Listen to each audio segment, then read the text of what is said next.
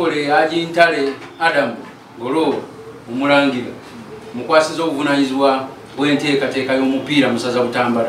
Ku ntandikwa ya sabbiiti eno omwami wa kabaka amulamulirako essaza lya butambala haji sulaimaani magala yalonze haji adamu ntale golooba nga ssentebe w'olukiiko oluddukanya sitiimu y'essaza egenda okwetaba mu mpaka z'amasaza ga buganda ez'omwaka guno. Musaza butambala nange nkutumye.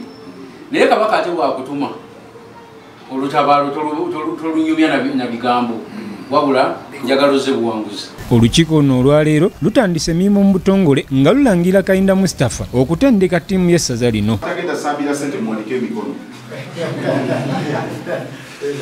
Kayinda agamba bagenda kutandika okutendekebwa mu bwangu n'ekigendererwa ekyokusunsulamu abazannyi abalungi okuzannyira butambala. Tweteeseteese era tutandikidde okweteekateeka n'abasambi kugamba ab'ebika ebyenjawulo kuga n'abantu abadde batasu- kugamba n'abasambi abadde batasuubirwa singa tubeera nti bakama baffe batuwadde amaanyi.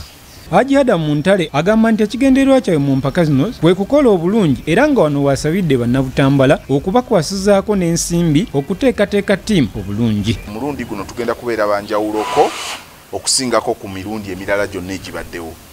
Nkubiriza bannabutambala bonna okubeera nti tujja kwagala ttiimu yaffe ekyensusso kubanga omuntu eyakutte mu kintu kino ku mulundi guno ah, mukwano gwammwe ah, omulanga bwe tuba tugubatuukiridde buli alina kyalina kyonna kiweereyo ttiimu yo ttiimu egenda kusamba bulungi era ejja kubawa essanyu ah, tusobole okuba nga tujja kukwatako saabasajja mu ngalo ku fayino empaka z'amasaza ga buganda ez'omwaka guno zisuubirwa okugibwako akawuwo ng'ennaku z'omwezi 25 omwezi guno era nga buddu yegenda okukyaza omupiira ogugenda okuziggulawo. Chris kasagga ne waswa james bbs terefayina agesigika